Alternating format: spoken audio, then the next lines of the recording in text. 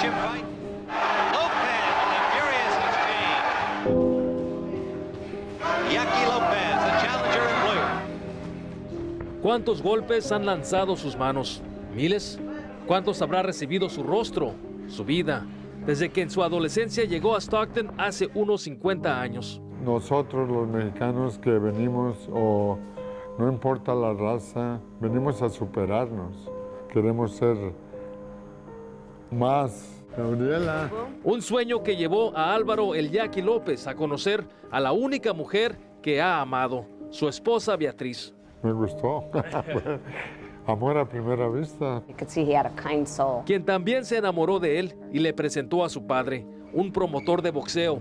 López le pidió que lo entrenara. Yo le dije a él que nomás quería ser barbero con mi papá. Un acto de amor que impulsó una de las carreras más legendarias y respetadas en el mundo del boxeo. Una trayectoria especialmente famosa por su pelea contra Saad Mohamed en 1980 por el título mundial semipesado. Era muy duro para agarrar una pelea del campeonato, porque nomás había dos organizaciones y había ocho campeones del mundo.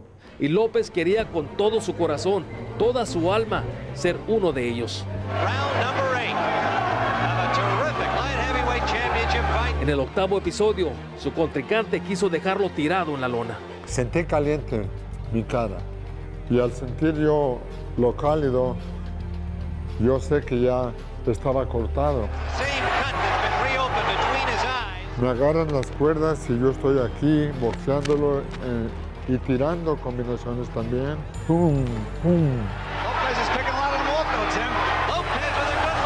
Él me tiró unos golpes abajo y arriba y lo bloqueé yo.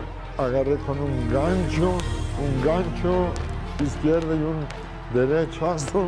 Y luego un recto de izquierda y un recto de derecha y un left hook. Y cambiamos. Dije, pues aquí se va él o me, o me voy yo. López acarició el cinturón, pero casi al final de los 14 rounds perdió la pelea. Una derrota que siempre estará con él. Yo quería ganar la pelea. Hice todo lo que pude. Me fajé con él. Estaba dolido mi corazón, pues, pero así es, ¿ves? Dios no quiso que fuera campeón. Cinco veces peleó Jackie López por el campeonato y las cinco veces no conoció la victoria. Y a pesar de que jamás fue campeón dentro del cuadrilátero, fuera de él, para muchos definitivamente es un campeón. Spinks López, López Silva, con varias décadas de boxeo colocadas en las paredes de su gimnasio, Fat City Boxing de Stockton, Come on.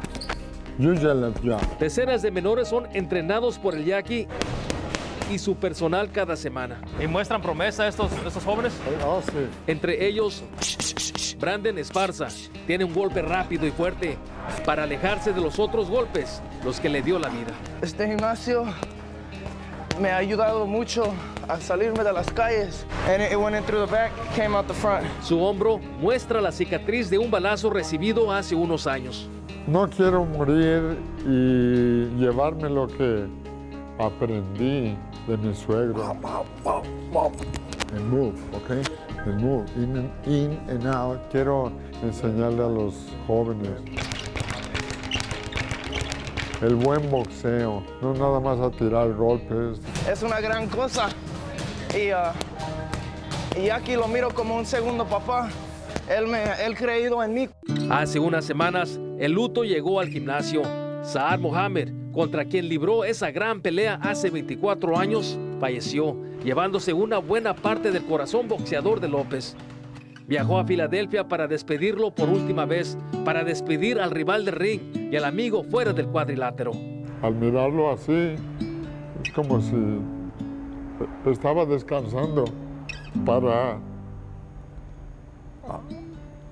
para subir al ring. Con el fallecimiento de Mohamed se fue un pedazo de su pasado, del campeón que no pudo ser, pero su legado vivirá por siempre en las manos y las vidas de sus pupilos. Dios no me dejó ser campeón, no sé por qué, pero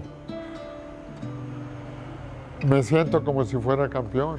Nunca fue campeón, pero en mis, en mis ojos es un campeón. Es un campeón y es uno de los mejores boxeadores que yo he mirado en el mundo.